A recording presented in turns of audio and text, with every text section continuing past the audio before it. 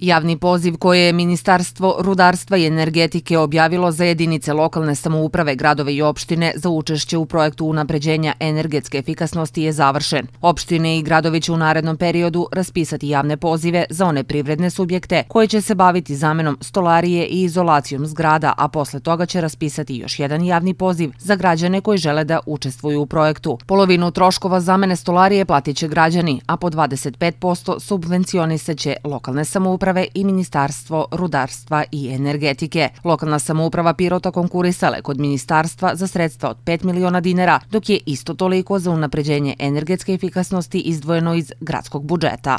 Lokalne samuprave imaju obavezu da e, do 10. juna pošalju javni poziv e, privrednim subjektima koji će učestvovati e, u, i koji će aplicirati i izvoditi radove za energetsku efikasnost. Naravno, posle toga će se rangirati, praviti lista i odabir privrednih subjekata koji će moći da rade na energetskoj efikasnosti. Prvenstveno se misli na zamenu PVC stolarija, vrata, izolacije plafona, podova, zamena kotlova. Očekuje se da prvi ugovori sa građanima budu potpisani krajem jula i početkom avgusta. Ove godine Ministarstvo je za ove namene izdvojilo 54 miliona dinara, a Mihajlovićeva najavljuje da će iduće godine za tu namenu biti izdvojeno sigurno 100 do 150 miliona evra iz državnog budžeta.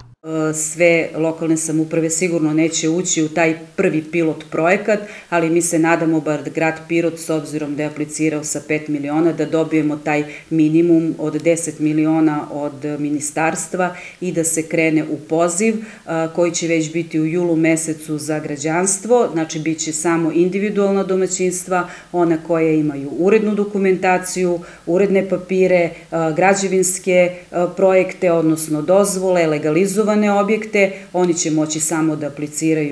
Projekat će se realizovati u periodu septembar-novembar. Cilj je da 2050. godine Srbija ima minimum 50% proizvedene toplotne energije iz obnovljenih izvora energije, istakla je Mihajlovićeva na sastanku sa načelnicima okruga.